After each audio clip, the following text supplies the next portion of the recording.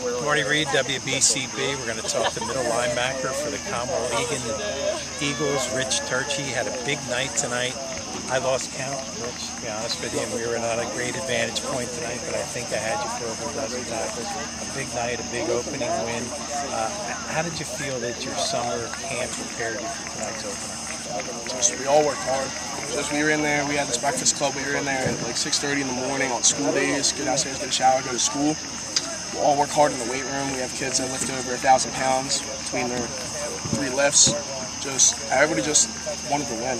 It's a, it wasn't about losing anymore. So tonight you opened up with a big win over New Hope uh, Lions, New Hope Solebury Lions, 28 to nothing. And uh, I'm sure that the, your coaches scouted this team and they had you obviously very well prepared. You called you called most of the defenses in the huddle. You take the calls from Coach Jim Jamison. You, you feel like you guys were really prepared for everything they showed you tonight.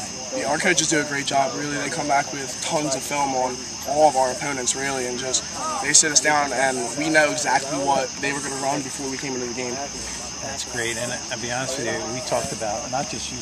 You had a big game, and they let you go a couple times on the blitzes, but all your, your group of linebackers, you guys really worked sideline to sideline, and you brought a lot of people to the ball. Not just one, two guys. You were bringing four, five, and six. Your, your team defense is great tonight. I'm sure you're being taught that in practice. We are. Well, I want to congratulate you on a big game tonight, a big opening win. I know we're going to do quite a few more of these games, so hopefully we'll be able to talk to you again. All right? Congratulations. Nice. Great opening. Thank you. Take care.